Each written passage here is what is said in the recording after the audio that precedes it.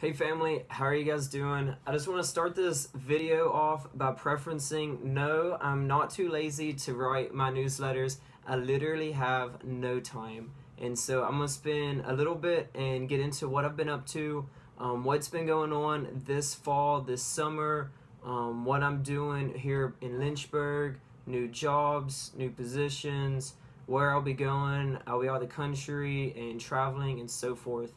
Um, so starting off, I want to, um, you know, thank everybody that's been praying for me, that's been following along with these newsletters. Um, this is going to be a video one, so instead of reading and seeing a lot of pictures, you just get to watch this. So it should be pretty easy. Um, I'll add some links in the video, that way you can get to certain sites to get to just more information about what's going on.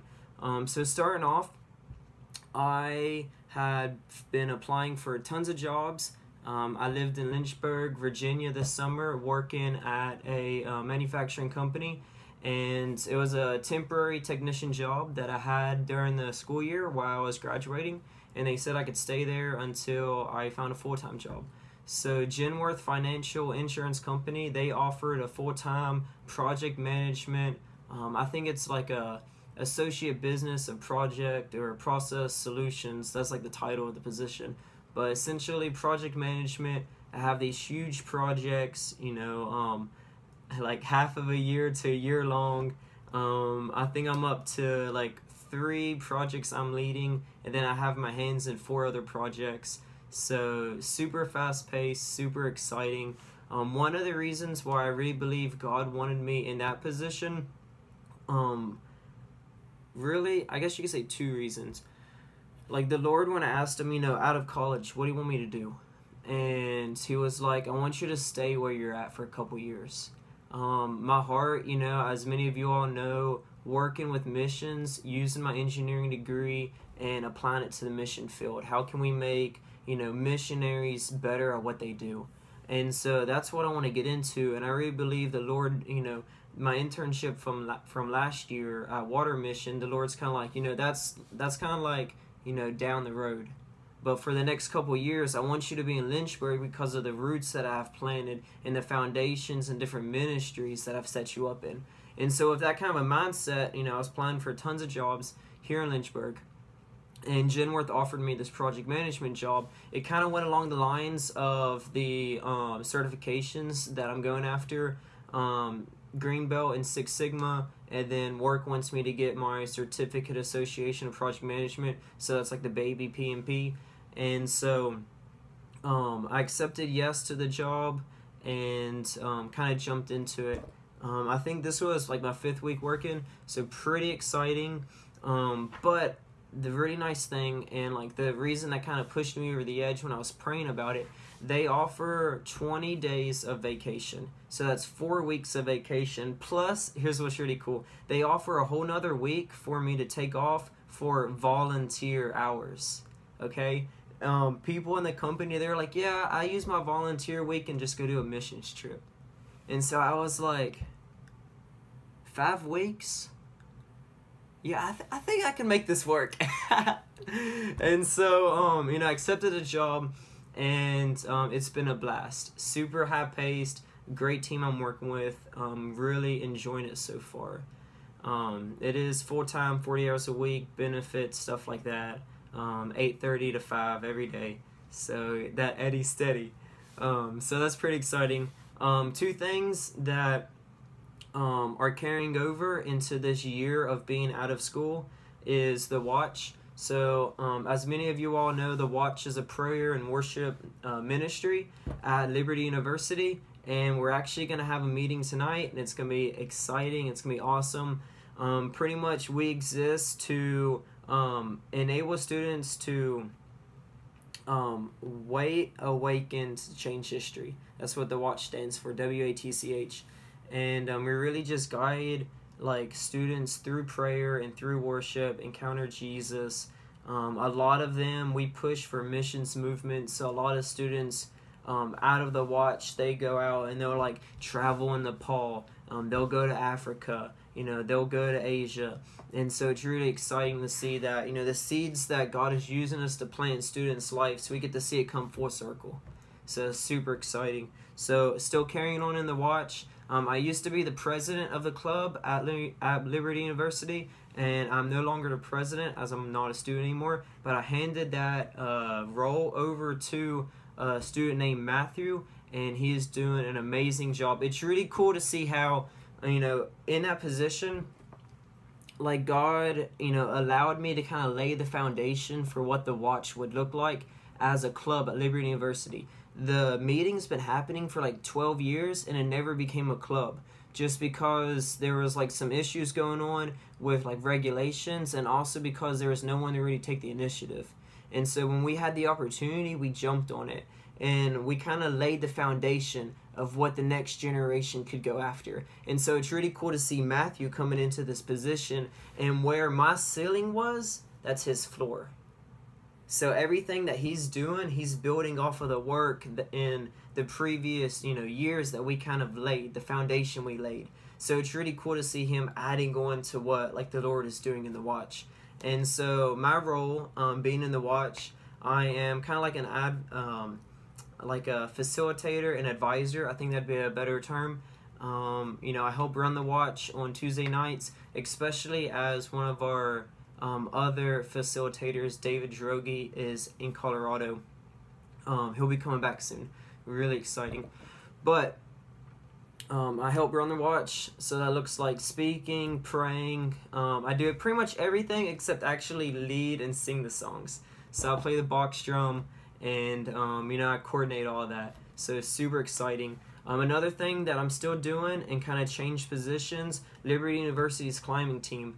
So last year I was the team manager because I couldn't be a coach while I was a student. But now that I'm no longer a student, I'm an official assistant coach of Liberty University's rock climbing team. So it's super exciting. A lot of stuff is going on with that. And, um, you know, early mornings on Monday and Friday when I'm coaching, uh, we coach from 6 to 8. So super early with that. And it's really awesome.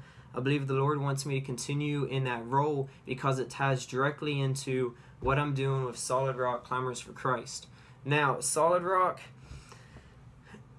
there's been some um, you know rapid changes recently in the nonprofit um, you know it definitely exciting times if you've kept up with my facebook feed um, or if anything that's kind of been going on with the nonprofit the director calvin landris um, somebody who i love dearly and considered a truly a mentor um, he was who i you know, worked underneath. He trained me on how to be a chapter coordinator.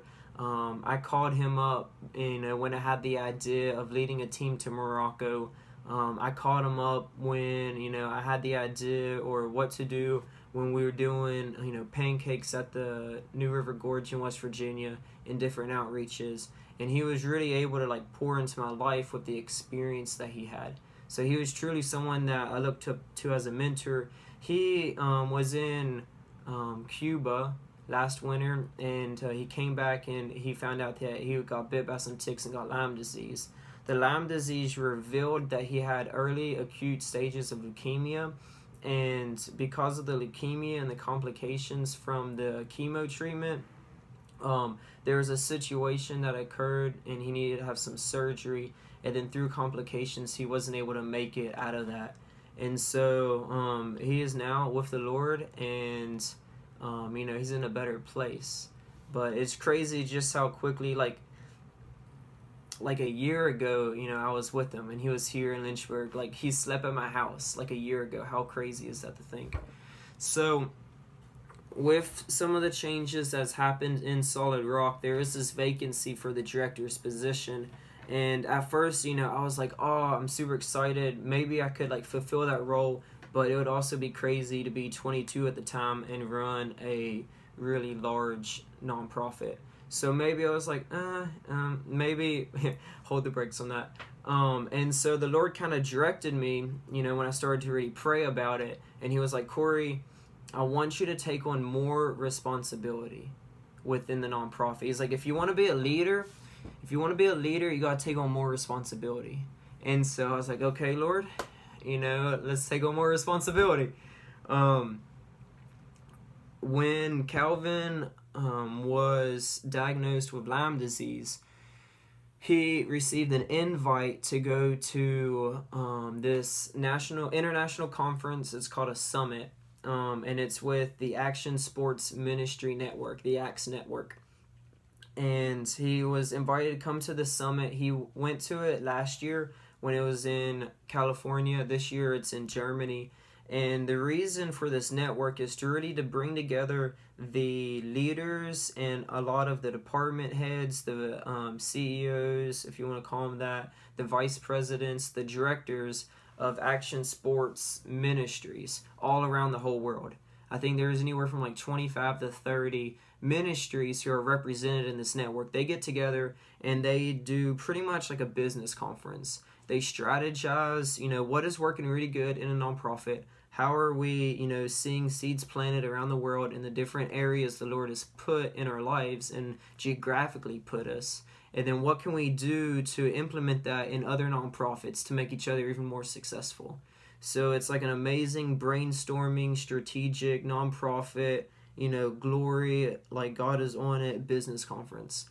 And Calvin was invited to it again to represent Solid Rock, the whole nonprofit and you know even speak about it in different sessions and um, when he had Lyme disease, um, there was no way he could he could attend that. He couldn't you know make the trip to Germany, and so he sent out an email to me and a few other people asking if we'd be interested in taking his position representing Solid Rock at this um, nonprofit business conference, pretty much.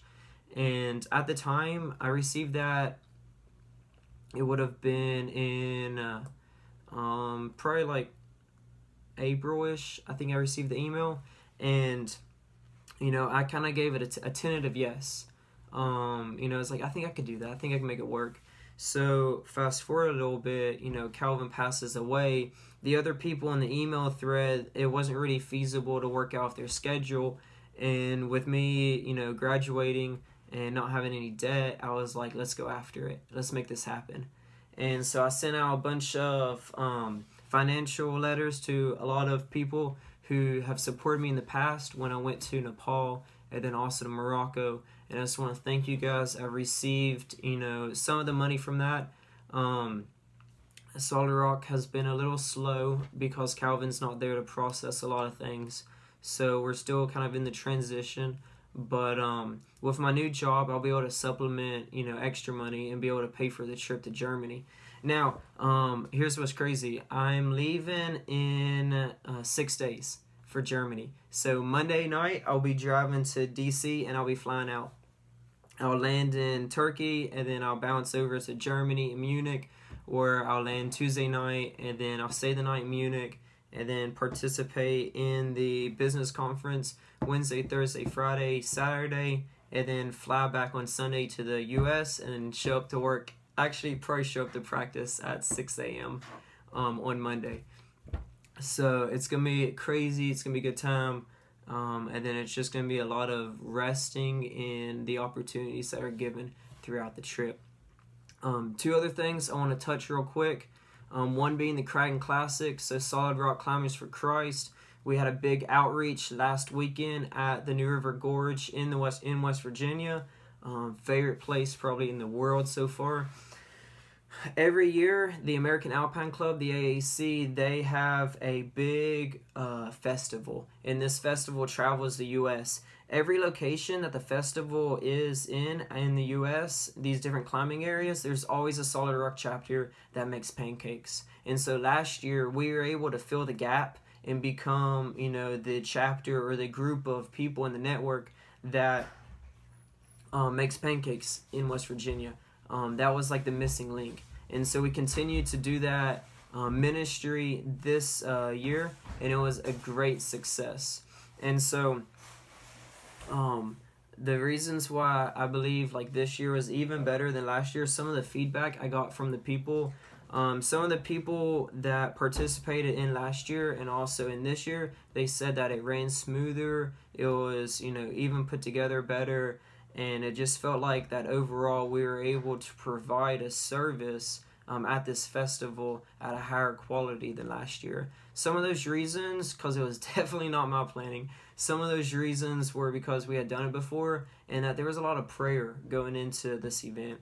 And so um, while we were, you know, handing out pancakes and we were serving the community Sunday morning, I think it, it was raining a bunch, but there were still about 200, 250 climbers that came to uh, get breakfast that morning. Um, roughly about 300 to 400 climbers were participating in the whole festival. And so while we were serving food, um, some of us who, you know, weren't like, you know, flipping pancakes and on the griddles, we were walking around praying for people and telling people about Jesus. And so it was really exciting. While we didn't see any salvations, we were able to pray over a lot of people, pray for healing, and also, um, you know, introduce a lot of people into the network because they had never heard of Solid Rock. We were able to meet one Christian, so that was really exciting. Um, he was super excited to hear about, you know, all of Solid Rock and um, he he had just barely heard anything, so we got him connected. So really exciting. Um, second thing coming up uh, for Solid Rock is the national conference. So um, with Calvin not being here anymore, um, we had an interim director step up, and he's helping you know kind of fulfill some of the roles that Calvin was doing. But also with the Lord saying, Corey wants you to take on more responsibility um, and taking on this Germany trip, um, also felt you know the the uh, you could just say like the Lord was moving and said yes for me to take on the responsibility of planning the national conference for the whole um, nonprofit. Now I'm not the only one planning this. Um, my friend Andrew, and then also the interim director uh, Jed and a few other people were all pitching in. So all of us are pitching in to plan an event this big because it's gonna pretty much encumber or encumbrance um, all of the Solid Rock uh, chapter coordinators, and then a lot of the people in the network are all gonna come and pretty and all the board of directors are gonna come and we're gonna be able to meet each other, and it's gonna be the first time that it's ever happened at the New River Gorge. So that's awesome and it's super exciting. But that's gonna be October 25th to the 28th, and then I'll personally be there with a group from Liberty from the 26th to the 28th. So those are some things that I've been up to, some things that I've done in the past, some things that are going on in the future. But I wanted to create this video and kind of get it out to people about what's been happening, what's been going on, and I'm super excited um, really about what the Lord is doing and kind of like, you know, working through this whole idea of there's no way I can keep up with this pace for, you know, an extended period of time. And so I believe that, you know, once I come back from Germany, once the national conference is over, I'll go through November December and it should slow down some. And I was talking to another friend who, you know, works with this an amazing nonprofit providing healthcare around the world. And um, he also works at like a super fast pace. He does a lot with his ministry and with the nonprofit. And I asked him, I was like, you know how do you how do you work um, and get so much going on so much done and not get burnt out? Because that's like that's one of the things you know I, like i don't want to burn out in the positions that i believe god has you know put me in. And i was like you know when you're so busy with all this work and you don't want to do it anymore and you don't want to continue to take on a responsibility how do you continue to push through that? And he was like corey he was like the first thing i do i come to a realization that all of the work I'm doing, it's not my work. It was like he's he's like as Christians, you know, the work that we're doing is the work that the Lord has given us and he's allowed us to partner with him in the process. And so when I come to the realization that, you know, working for Genworth, working with the watch, you know, helping out with the climbing team, doing all the stuff with Solid Rock, that you know it's not on my shoulders. It's not you know my burden my responsibility to, to take it all. Um, like the lord is going to work out all the plans and all i have to do is partner with them in the movement. And so he was explaining that to me and it kind of brought me into the understanding. It was like okay you know i can kind of see how that works. And it was really exciting um, in the situation for example like the Craggin' Classic this past weekend being like really busy and um like also knowing the information I knew from last year when we planned the event um, I wasn't able and I didn't do as much planning for this year. And so that really um, created a situation where I had to rely heavily on the people that God put around me. And so it was really exciting how, you know, with a biblical, you know, worldview and also the Holy Spirit as Holy Spirit as guidance, the key people that God, you know, kind of like pulled out of the climbing community here in Virginia and also on the East Coast and brought to this outreach event, the Lord highlighted different areas at which they excel at naturally, the gifts that He's given them. And He's like, Corey, I want you to put them in positions this week and during this event to where they can excel naturally at the gifts and the talents I'd given them. So leveraging the people to do what they're, you know, made to do. And when you put them in those sorts of positions, is amazing how you know everybody functions so well. And so it was really cool to see how when i had to rely on you know the team that the lord had brought around me um, like how well they stepped up to the plate especially when you know i understood and like how the lord showed me like the different areas where they excel at. And then you put them in those roles and so those were definitely some you know lessons i had learned from this past outreach with the Craggin' Classic, and then also how you know I believe the Lord is going to sustain me as I continue, you know, somewhat with a busy pace, but also just working in ministry and not burning out. And so I want to thank you guys. Um, hope this video wasn't too long. Please email me back feedback um, if this was good or not. Um, hopefully, I can get back to writing my letters. I really do enjoy writing those. But for this one, there just wasn't time as I'm leaving so quickly for Germany and wanted to get the word out to you guys. But I want to thank you so much for watching this. Definitely let me know what you think um, and send me emails. And I love to hear from you guys.